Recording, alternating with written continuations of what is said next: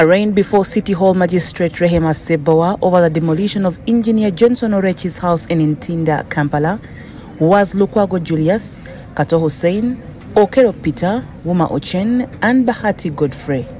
According to the prosecution, the suspects were arrested on the night of 5th January 2024 after they forcefully accessed the partially demolished family home of the late engineer Johnson Eliba Orech. They are also accused of robbing one of the family members. Until the first of.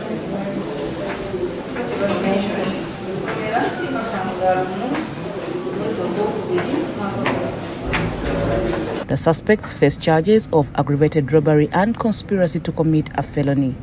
The suspects were remanded until 1st February 2024.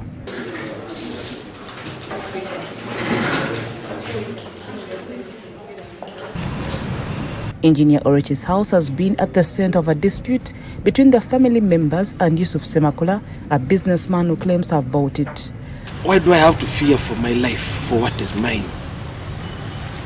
Because some powerful person wants it by force. who is now claiming ownership of this place. Our plea is that we get the protection that we need. Police was withdrawn.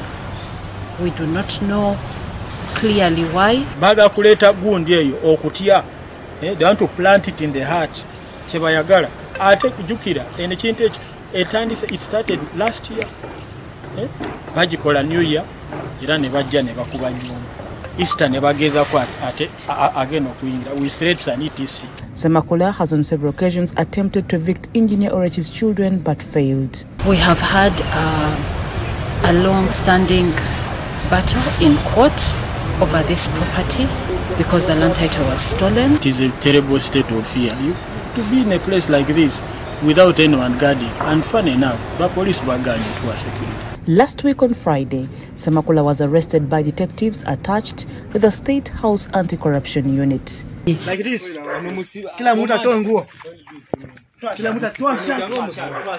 This is the ringleader. This is the guy. This is the guy who is telling me do you know where, where we have come from with this land? This is our property. You guys are thieves. I'm going to kill you here. he got a panga got a panga put it on my neck got a hammer started hammering me this guy.